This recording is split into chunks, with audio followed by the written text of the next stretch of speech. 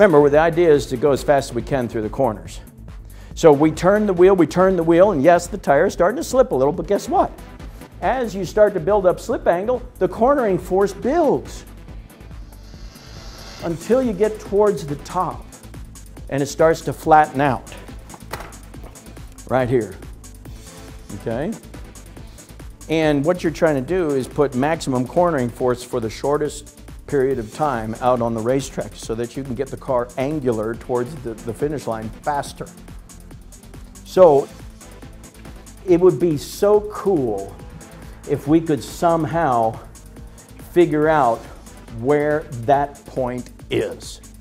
And this goes back to what we talked about at the very beginning of the class.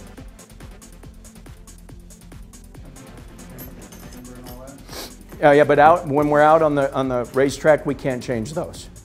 Uh, You could change that here in the garage and go out and check to see if there's a difference. But I'm talking about things that you, as a driver with only two sets of controls, which move fuzzy dice around the car, can control this. Okay. Drum roll. Okay. Full. Empty. Now. Okay, watch this. I, I won't be able to do this very long. Okay.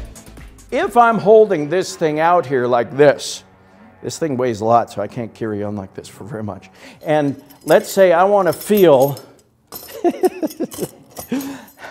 when I did this in rehearsal, I was able to hold it up there the whole time. What's going on here, okay? Now, I want to add a little bit of weight. Okay, I'm straining here a little bit, but I want to add a little bit of weight to that. Am I going to be able to tell exactly when that extra weight was put on if I'm holding this thing like this? I don't think so.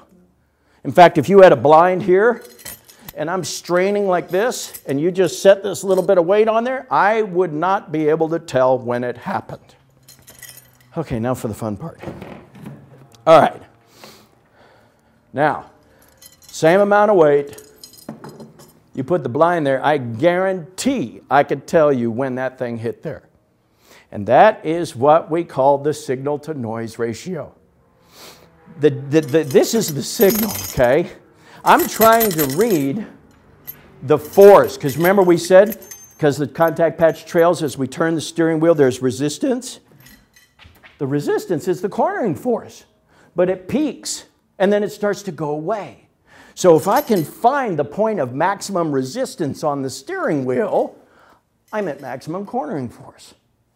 But if I've got a a death grip on the steering wheel and I'm trying to read minute changes in the, the resistance of the steering wheel, but I've got a freaking death grip on the steering wheel because I'm relying on friction, which is always harder than if we were to use leverage. Then guess what? If somehow I could use leverage by pushing on the side of that thing, now the amount of resistance and tension in my forearms has dropped dramatically. So if the resistance in my forearms has dropped dramatically, I'm a lot better able to read these minute changes. And suddenly the, the, the limit, the cornering limit, lights up like a neon sign in your mind.